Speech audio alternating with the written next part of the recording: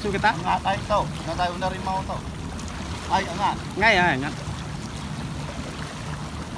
Ay, salap. Huwag to. eh. Angat ay to na. Kanya niya ay natuka sa Điều dàn nè. Lạp ay. Bây giờ